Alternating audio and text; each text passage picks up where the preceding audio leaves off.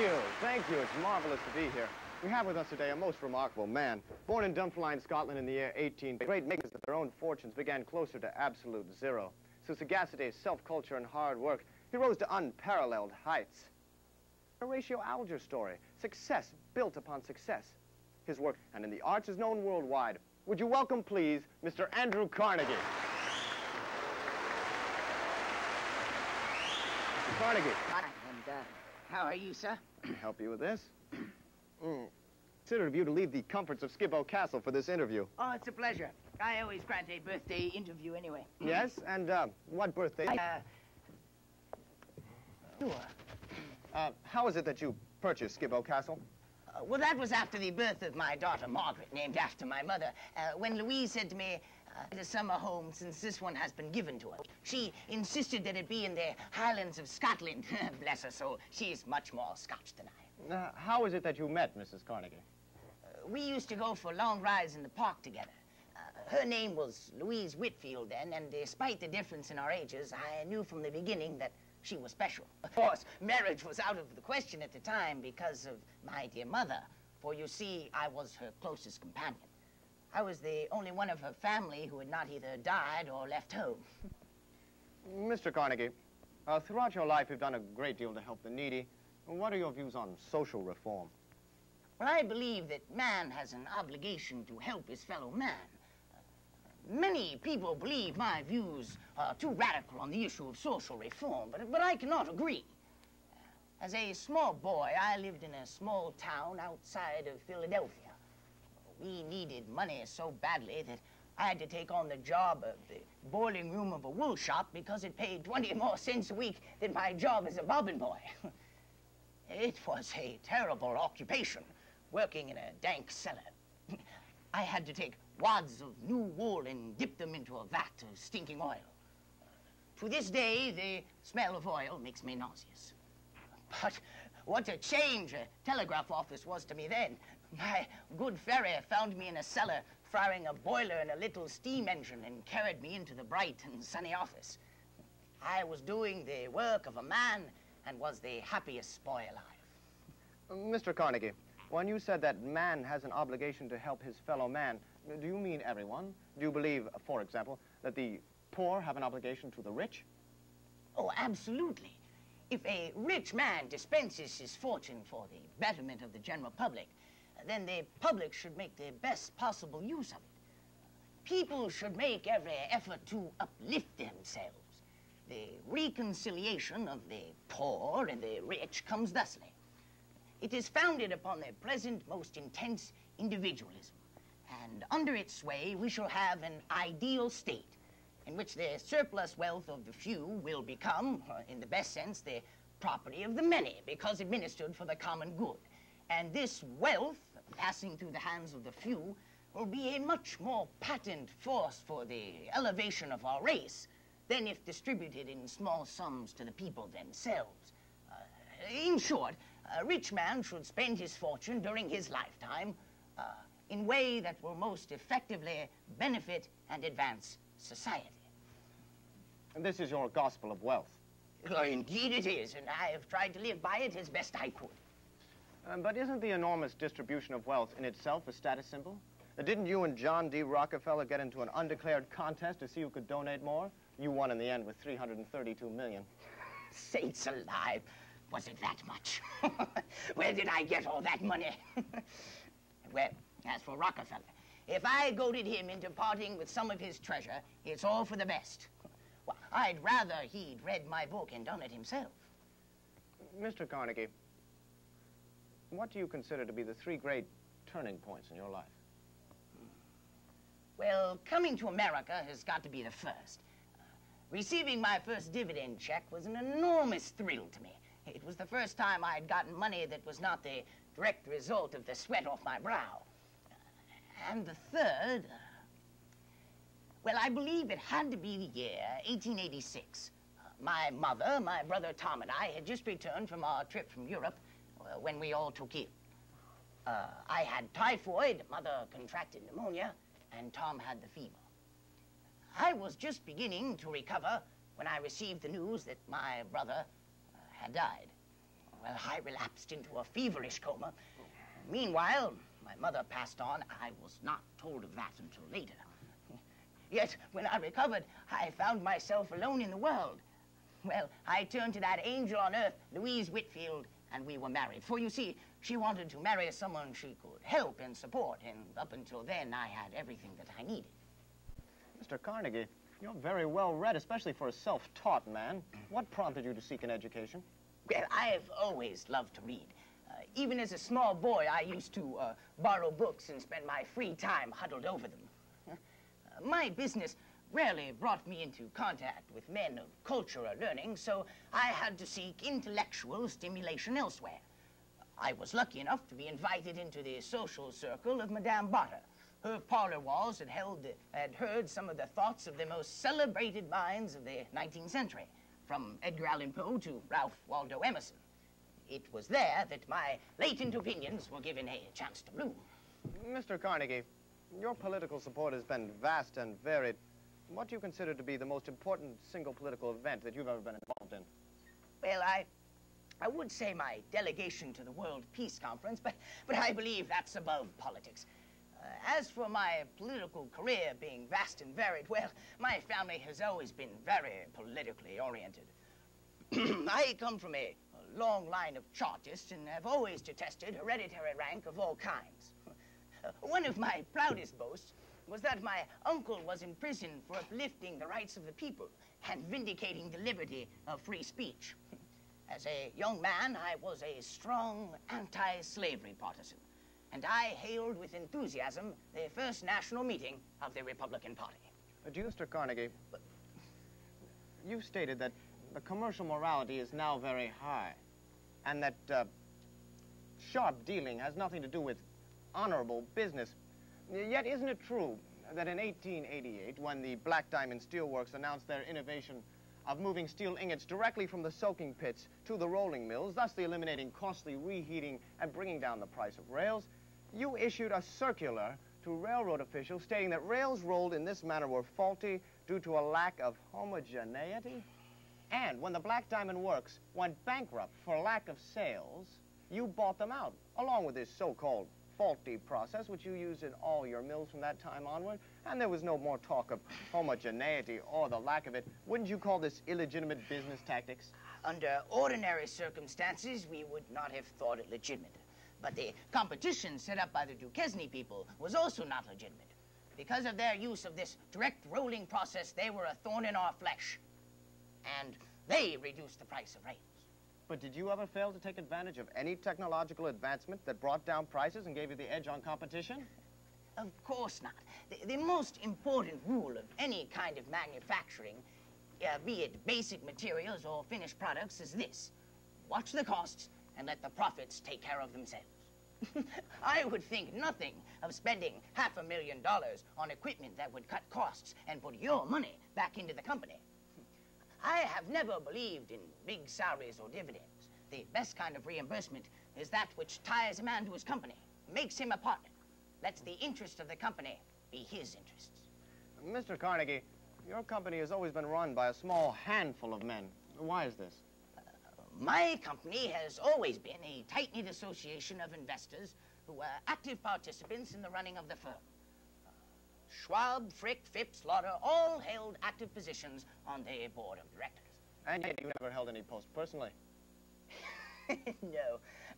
I owned the company. Ah, yes. no, uh, actually, although I held no specific post, I was active in the company decision-making. As I've always said, put all your eggs in one basket and watch that basket. Isn't that a quote from Mark Twain? Uh, no, he borrowed it from me. Mr. Carnegie, if you were to give advice to the young businessmen of today, what would it be? Well, one very major rule is to avoid overcapitalization.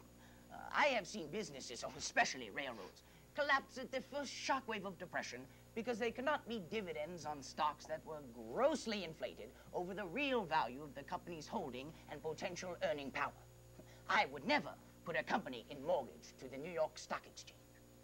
Also, a company should hold back a percentage of its profits in a financial reserve. Remember, the man who has money during a panic is a wise and worthy citizen.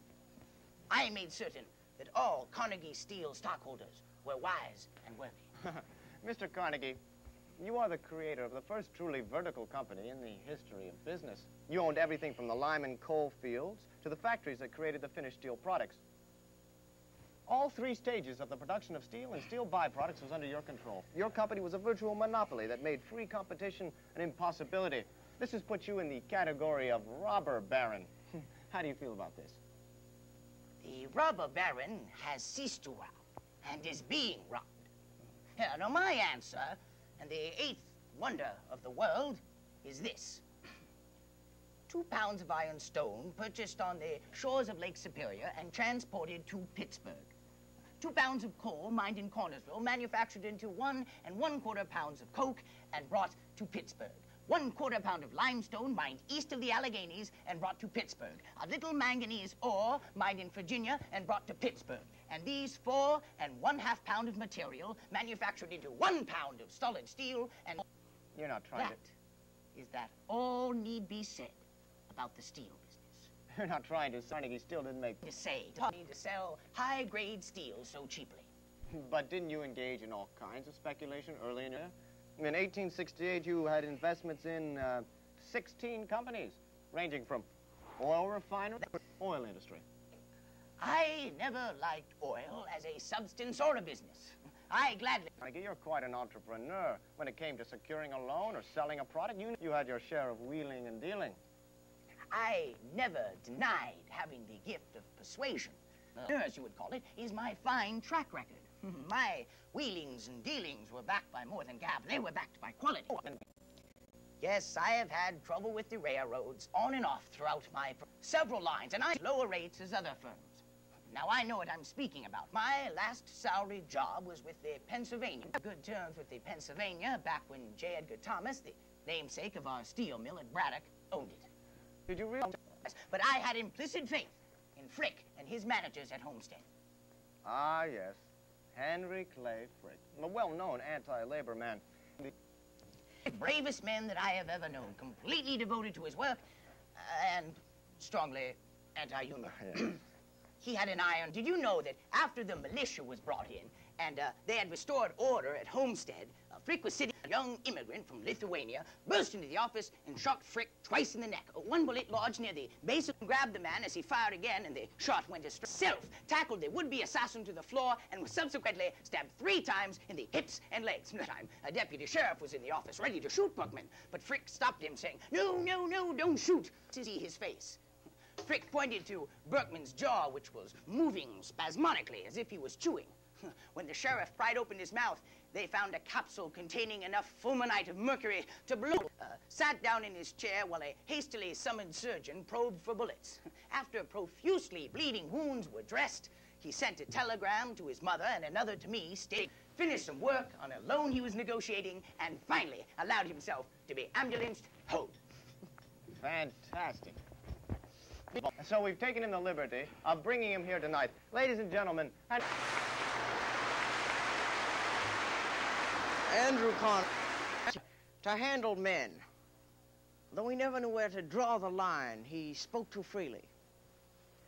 The merging of our companies was good financial point of view, but personally it was a, a mediocre success. He had majority control of my company, and I was not a man who could tolerate control, even if it was benevolent. His brother Tom, on the other hand, was a. He had the love and quiet respect of every man in the firm. Completely trustworthy. Tom was more reserved and conservative than his brother, and he often in the beginning, but he became less and less so as the years went by. He took to drinking, and that eventually led to his death. If in compensation for the loss of his brother, this led to the dissolution of our relationship but I hold no bitterness.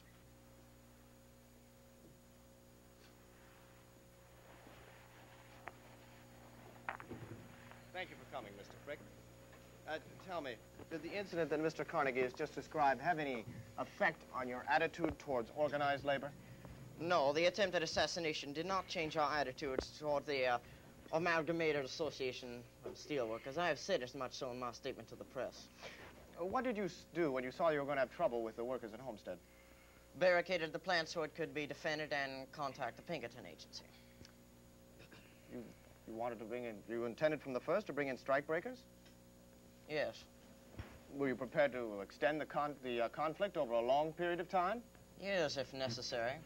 And what about Carnegie? That the unions had to be. He didn't agree with the use of strikebreakers. He uh, subscribed to closing down the plant and waiting the workers out. Did you keep in close contact with uh, Carn? Close enough to keep him far away. Uh, Phipps and Lauder saw to it that he didn't speak to the press. The last thing we needed was to have hope to accomplish. Carnegie let me handle it in my own way. He had to. He knew that if he interfered, he would lose both the battle with me and the unions. I would have left. Well, the Homestead Mills had been for three years in the hands of the unions due to the gutless mismanagement of the director. I offered the union terms that seemed acceptable to me. If they didn't like them, that was their business. I welcomed some final decision on the matter. They chose not to accept them and walked out. I informed the Pinkerton men to. However, those Union men were keeping a sharp watch on the river and they spotted the guards. The Pinkerton men never reached the docks. With the local workers. However, they we fired them and hired Hungarians. Eventually, the same thing happened. No matter how destitute a group of men are, just give them time and they'll ask for more. Uh, richly stocked with diverse ethnic groups. The treaty you offered the unions was designed to bring about a strike, was it not? Only if they wouldn't accept them. but didn't you, for all intents and purposes, refuse to negotiate with union representatives? Didn't your proposal call for reduced wages and an uncomplimentary termination date on the contract? Yes. And you considered the confrontation a success? Yes, we had no more trouble at the Homestead plant. Mr. Carnegie, why did you and Mr. Frick dissolve your relationship? Oh, our relationship was not dissolved. It was uh, Mr. Frick could not seem to grasp the fact that what was good for Carnegie Steel was good for Frick Coke. He was continually putting the interest of his firm first when they were actually one. There were also some bad business maneuvers. Such as your attempt to expel me, me from the company with a fraction of what my holdings were worth, holding the ironclad agreement over everyone's head but your own. Your handling of the homestead business and your backing out on your agreement about the cost of coke led to your expulsion from Carnegie Company. Mr. Carnegie seems to forget that he gave me a blank check on the Homestead business. Neither he nor I were authorized to make a final decision between the firms. If, if the men who own controlling majority of the stock can't make decisions, who can? The men specifically designated for the job. Schwab told you that the deal would have to be renegotiated and put down on paper. It seems to me, Mr. Frick, that you use the same tactics against the unions that you used against uh, the Carnegie. Force a confrontation and use it for your own benefit. Uh, Mr. Carnegie, why did your first negotiation to sell your holdings and retire fall through? Uh, Well, the balance uh, to the payment was not raised within the allotted time, which was just as well with me, uh, since the uh, the secret the secret client who was interested in buying me out was a shady speculator of the worst description. Mr. Frick, that deal together. And you kept the million dollar collateral on that deal, most of which was my money. Yes, we used up to fix up Skibo Castle, putting in the waterfall and the saltwater pool. It came in very handily. I thank you. You know, when you built your years after I retired, I sent a letter to you stating that bygones should be bygones and inviting you up to see me. You remember your reply? I'll see you in hell.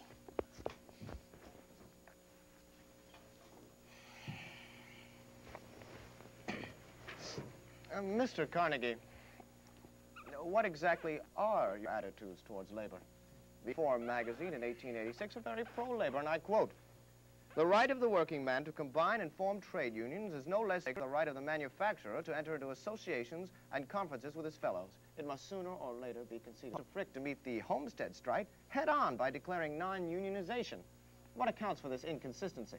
There, there are two reasons I push for a declaration of non-unionization. Firstly, the strikers do not in any way represent the work, the majority of the workers, and secondly, Uh, the kind of unions that I have always given praise to have been those that uh, have worked within the company, not on a national scale. if company unionism isn't that I insist upon non-unionization. Uh, But isn't it true that at the time of the Homestead strike, your company was in a period of overproduction and couldn't you easily put on strike? In fact, wasn't it an ideal time for you to have a decisive clash with the unions? Didn't you write to your plant manager and instruct him to roll off a lot of steel plate ahead of time, your only pressing order, so you'd be free of responsibilities when the strike came? I ask you, sir, to remember that the strike was forced upon us. The entire incident had been a painful blotch on my career. But I can guarantee you one thing. If I had been there at the time of the strike, no blood would have been spilled. Then you do not that despite you do not deny that despite your many statements about the benefits of unions to employer as well as employee, that you were bent upon removing all union control from your company. I do not deny that I was and am against this sort of nationalized union, not all unions. What about your attacks on the Knights of Labor? The Knights of Labor was a crude, entirely too all-inclusive. you cannot combine common, unskilled labor with skilled. One mistake that many writers make about labor is dealing with it as if it were one class. There are more grades to labor than in educated society. Mr. Carnegie, you have been labeled. I have never claimed to be the world's greatest philanthropist. Uh, men like Enoch Pratt and Peter Cooper pioneered this way before me. Uh, but I am just science. And although distributing my wealth this way has been more tedious, I believe it has done more general good than just random donation. I always tried to handle my philanthropy as I did my business, systematically. Now, remember, a man who dies rich dies waste. Uh, when did you first begin to distribute your wealth?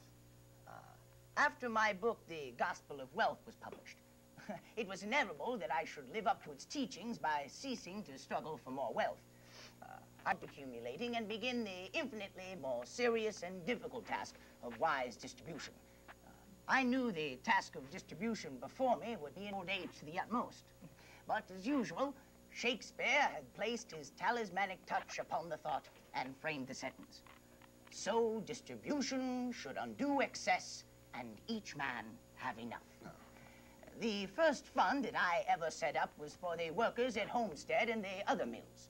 The first library that I ever built was in the place of my birth, Dunfermline, Scotland. You'll have to forgive me for putting my native town first on the list. My mother laid the cornerstone, and it was a grand day, generally. The public library, uh, to me, represented the best kind of uplifting effect, that of self-improvement. Here was a place that any man could go to better himself. It was this kind of institution that I put my faith in. Let others do work for the benefit of the submerged tenth. Mr. Carnegie, in what field was the majority of your money spent? Uh, for the improvement of the mind. Uh, I have never supported any religious groups except for the uh, donating of church organs. As a matter of fact, the church organ is a good example of how a simple piece of charity can swell into full-time philanthropy. Uh, I donated an organ to the church my father had attended. Well, within a year, I was donating pipe organs right and left. By the year 1919, I had given away nearly seven and a half thousand organs. So you can see that I had to keep tight ramifications on the giving of my gifts. Uh, you never supported uh, science and medicine as you did education. Why is this? Uh, well, as I've always said, a man must choose one line of work and stick to it. Uh, education became the field of my choice, the betterment of the mind through the extension of knowledge. Carnegie Institution set up with that precept in mind. Uh, President Roosevelt was proud to serve on his board, as were many other distinguished men. Uh, the Hero Fund, established in 1904, has proved to be, from a point of view, a decided success. Uh, I cherish a fatherly regard for it since no one suggested it to me. as far as I know, it had never even been thought of. It is emphatically my own babe. uh, my fourth important gift was a $15 million pension fund for aged university professors established in 1905. Uh, this fund is veterans. Teaching is the most unfairly and, yes, the most meanly paid, though it should rank with the highest. And what was the endow endowment for the Carnegie Foundation for the Advancement of Teaching? About 30 million. As I understand it, Mr. Carnegie, the Carnegie Teachers Fund had a profound effect on the quality of education in the United States. School teachers, those that did not, their standards so they could. This put pressure on the preparatory schools to come up to the new university standards. Hmm. It was so successful in the private system that it was later expanded to the public university. That was the additional 15 million. In my various articles, compiled and called the Gospel of Wealth, I propounded that the rich man should distribute his monies personally. I tried to do so at first. In my first year of retirement, I gave away nearly $19 million. Well, I thought I was doing pretty good, but when I checked the figures, I found that I had accumulated more than that in interest alone. uh, I soon realized a specialization would be needed to handle charity on this kind of scale. Uh, therefore, I established the Carnegie Foundation. Uh, it had this, an entirely good charity. And how much was the uh, endowment? It was about uh, $125 million. Ah, I see. Um, Mr. Carnegie, exactly how much did you receive upon uh, selling your holdings in Carnegie Company? Uh, well, that was just about nearly uh, $500 million. Ah, and who did you sell out to? Uh, J.P. Morgan and Sons, bankers. I that I thought was reasonable, and he paid it. I've been told since that I should have held out for more, but what would have been the point? Uh, besides, they deal with more from they are as dependable as the sunrise. Uh, Carnegie Steel was absorbed into the creation of United States Steel, the first billion-dollar company in uh, the history of business. Alas, the, the days of the personally owned and run company are over.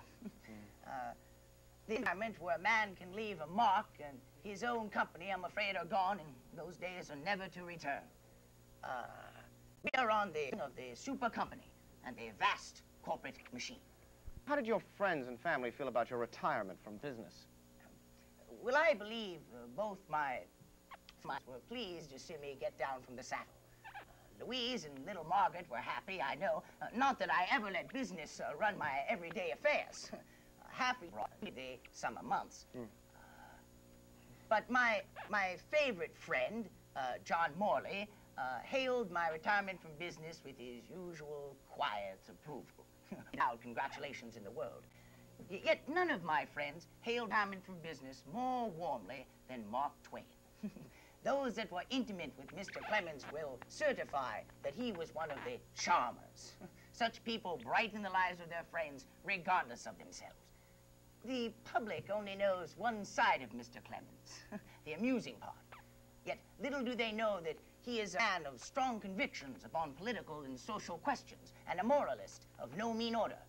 He was a man of unmatched wit, style, and sorrow. I received the following note from him uh, during a time in which the newspapers were talking much about my wealth. Uh, Dear friend and sir, you seem to be in prosperity. Could you lend an admirer a dollar and a half to buy a hymn book with? I'm sure God will bless you for it. I know it. I feel it. So will I. if there are other applications, this one not to count. Yours truly, Mark. P.S. Don't send the hymn book. Send the money. I wish to make the selection myself.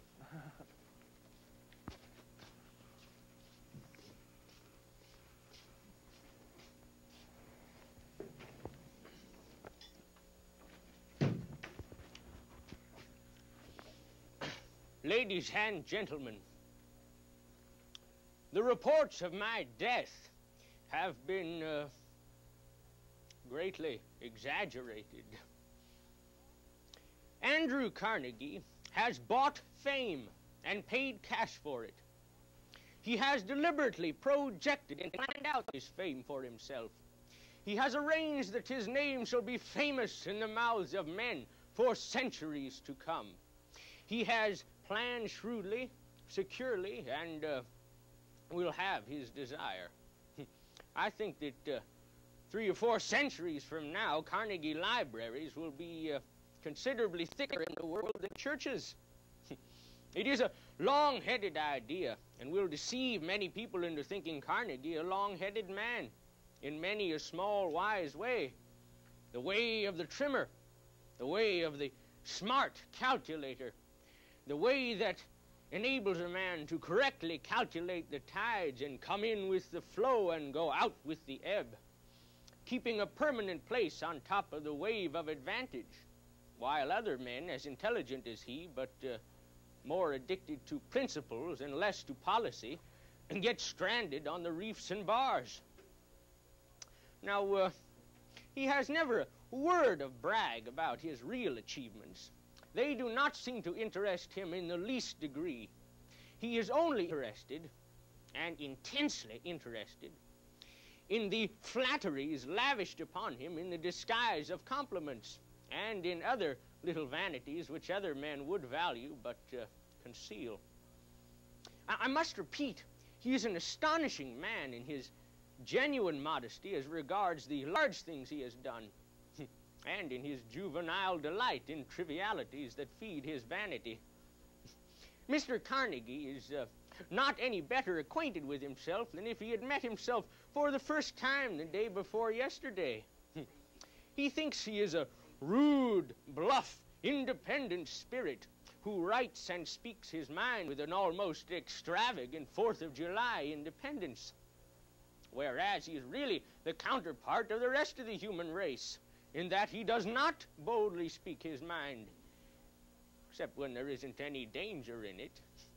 He thinks he is a scorner of kings and emperors and dukes, whereas he is like the rest of the human race. A slight attention from one of these can make him drunk for a week and keep his happy tongue wagging for seven years.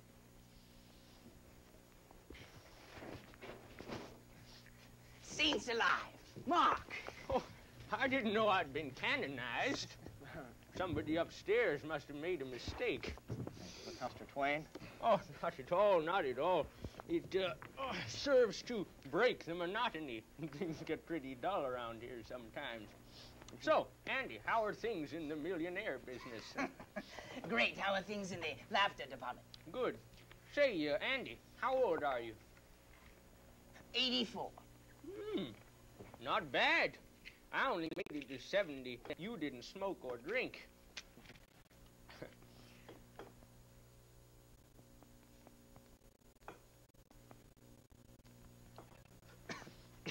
you ten years, I believe, to donate all your money away. I could have done it for you in ten weeks. I have no doubt of it, Mark. No doubt, especially considering your vast and varied career in the monetary world. Andrew, you and I would have made a great team. You'd uh, make all the money, and then uh, I'd uh, lose it, don't you know? you want to know, Mark? I owe my vigorous and healthy old age to my abstemious habits. the only physician I ever needed was Dr. Golf. and I took that up at 63. We ought to play around sometime, Mark. When I play around, it uh, won't be with you, Andy. my restraints never stopped you from enjoying yourself. No, sir, that's, uh, that's true. And that fine Scotch whiskey you used to send me, it was the smoothest on the planet. Hmm. You know, Andy, you remind me of an elderly lady friend of mine. Well, now, she had gone down and down and down to the point where medicine no longer had any helpful effect on her. And I told her that all she would have to do would be to give up smoking and drinking and swearing. And by the end of the week, well, she'd be on her feet again. Well, she told me that she couldn't give up smoking or drinking or swearing simply because she'd never done any of those things. So, there it was. She had neglected her habits. Why, goodness knows, just one or two little bad habits might have saved her. she was a sinking ship with no freight to throw overboard. you know, there's one thing that you've done more than me, besides drinking and smoking, and that is talking. well, I've never known your tongue to stiffen up for lack of use, Andy. It's pride that brings a man down, don't you know? Why, there's many a time when I've said, now, there's Mr. Carnegie. Now, just out of the affection I bear that man, many a time I have given him points in finance he had never thought of. And if he could simply lay aside envy and prejudice and superstition and utilize those ideas in his business, it would make a difference in his bank account. I would, Mark. I really would, but I'd hate to see the empire I've spent my life building tumble at a blow. Do you hear that? Hard, bitter words at the hands of a man whom I have treated with nothing but kindness. Why, just look at that foxy, cunning little white-whiskered face which thrills to transparent tokens of reverence for his money bags. I'd go into business with you, Mark. I, I really would. But I've always tried to avoid high-risk speculation. of course, we all know you're the modern Midas. Everything you touch turns to stainless steel. I'm not worried, since all's well, since all grows better. You, uh, believe that? I do. Hmm. I wish I had your faith, nor your blindness. Why, all I have to do to reaffirm my opinions is to open the newspaper, knowing full well that I shall find in it the usual sort of depravities and baseness and hypocrisies and cruelties that make up civilization and cause me to put in the rest of the day pleading for the damnation of the human race. yes, there, there are atrocities and cruelties, but, but they are only part of an evolving process. They are evils that will be weeded out as man develops toward his goal. What goal? Man originally started out just uh, a little bit lower than the angels, and uh, he's been getting a little lower ever since. to place him properly at the present time, I'd say he stands somewhere between the angels and the French.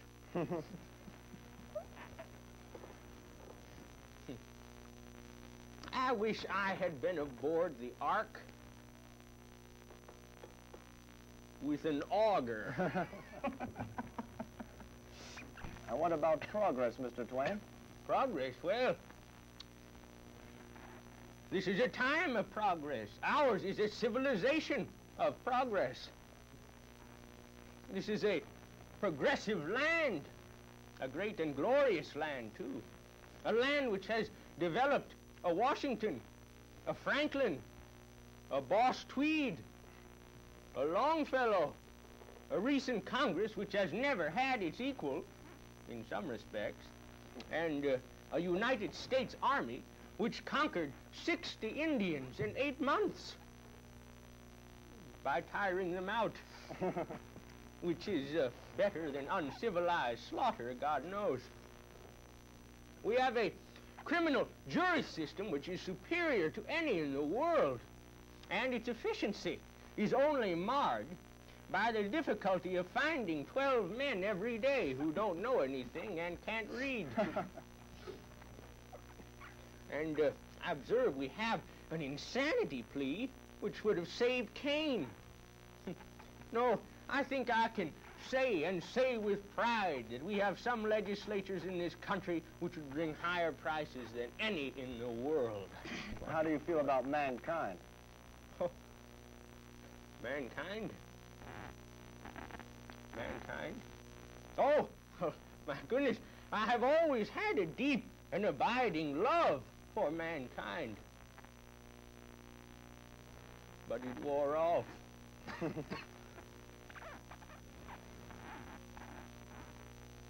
man, man is the only animal that deals in the atrocity of war. Yes.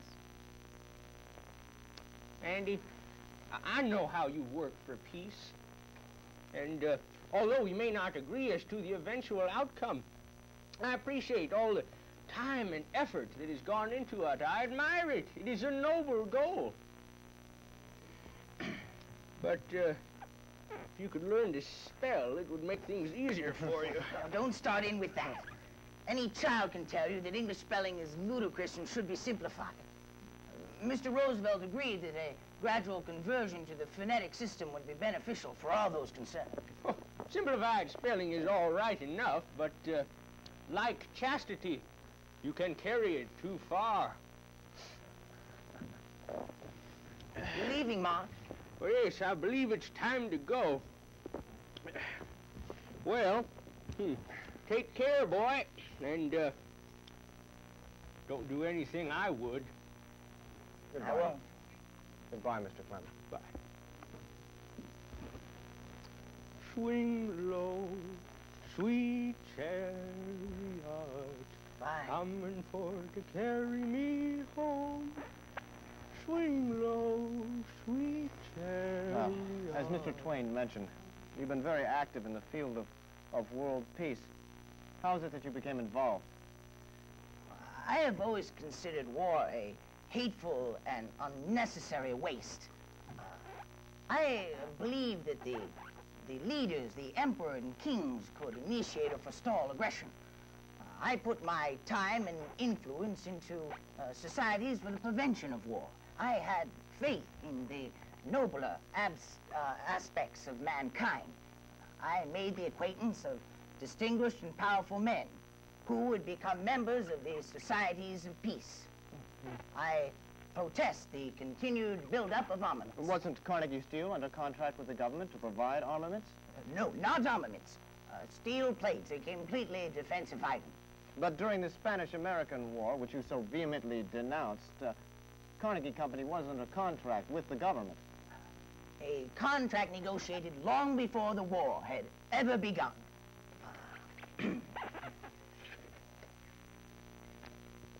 After the initial task of your wealth, of the distributing of your wealth was done, what did you do? Well, uh, after the, in- the initial task of my wealth was done, I uh, put my whole soul into the cause of world peace. Uh, I sponsored Mr. Roosevelt's tour of Europe and the building of the Hague Peace Palace.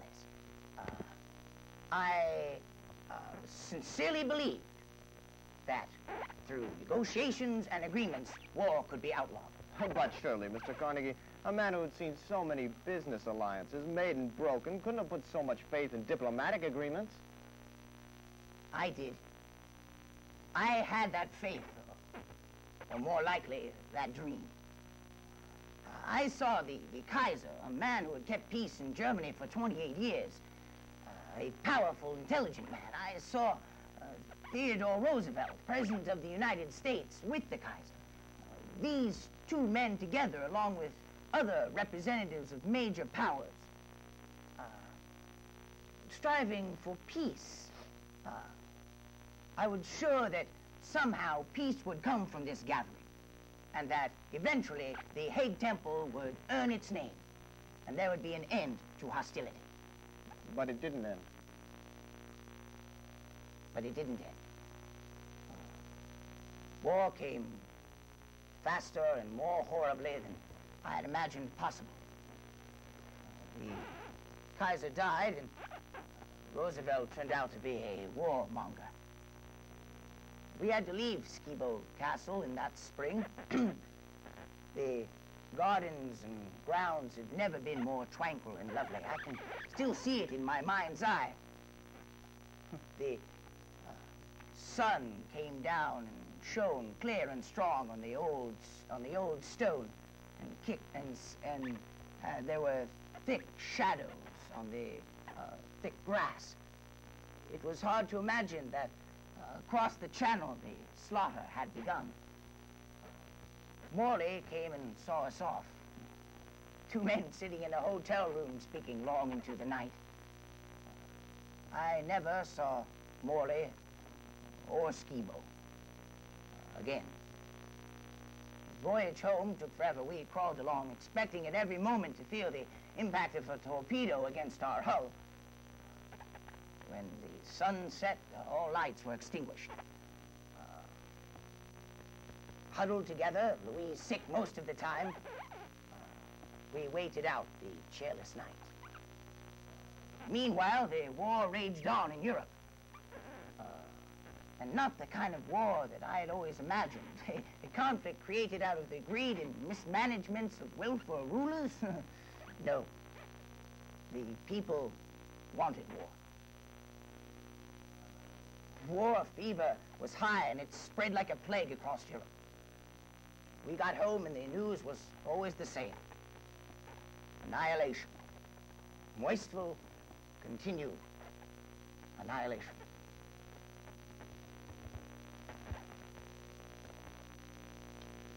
Of all the articles and books you've ever published, none has been reproduced more than a small note which you wrote to yourself when you were a young businessman. And I quote, 33 and an income of $50,000 per annum. By this time, two years, I can so arrange all my business as to secure at least $50,000 a year. Beyond this, never earn. Make no effort to increase fortune, but spend surplus each year for benevolent purposes. Settle in Oxford and get a thorough education, making the acquaintance of literary men. Settle in London and purchase a controlling interest in a newspaper or library, a live review, and give the general management of it attention, taking part in not only public matters, but those that deal with the betterment of the poor. Man must have an idol. The amassing of wealth is one of the worst species of idolatry. No idol more debasing than that of money. Whatever I engage in, I must push inordinately. Therefore, I should be careful to choose that life which will be most elevating in its character. To continue much longer, overwhelmed by business cares, and with most of my thoughts wholly upon the way to make more money in the shortest time, must degrade me beyond hope of permanent recovery. I will resign business at the age of 35. Mr. Carnegie, surely this document is unique in the history of finance. What made you continue to amass wealth? What made you ignore this note and make money your goal? I know the note you speak of. Comes back to me often. But, but let me ask you a question. If I had not made all that money, would you care what I've done with my life? Would I be here right now? I think not. Yes, I... The, my, my sin has been my savior. I made money, and more money. More money than any one man could possibly use. My whole life I spent accumulating wealth. I, I, I expanded, developed, concentrated, and controlled an industry. I created, I made money. My goal. It never ruled me. It was never my idol. There were the goal. Money was never my goal. I never set out to make more money than a, a Rockefeller or a Morgan or anyone. It was, it was a vehicle I used, but it never controlled me. When I was a child, I had nothing. We came across the, the ocean on that first endless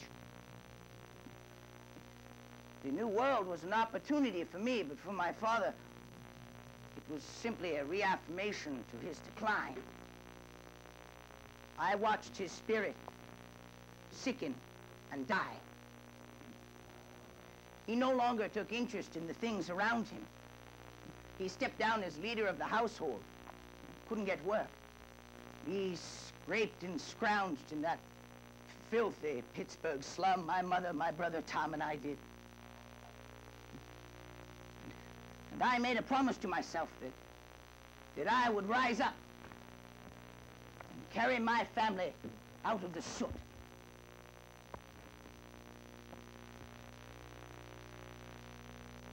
I did rise. Faster than I had expected or hoped possible. I, I worked hard, I did. I, I thought ahead, I planned. I had talent, I, I knew, but no more talent than hundreds of other people. There were three things that made me successful. Curiosity, I took an interest in the things around me. Drive, I strove and pushed hard. And luck, fate, and circumstance were good, good to me. At the age of 33, I had secured a fortune upon which me and my family could live comfortably for the rest of me. But it wasn't enough, and it wasn't the money. I had to push inordinately in whatever direction I chose. And I chose Steve. Mine was a politically active background. My father and his friends taught me young to be a radical chartist and despise hereditary monarchy. My childhood desire was to become a man and kill a king.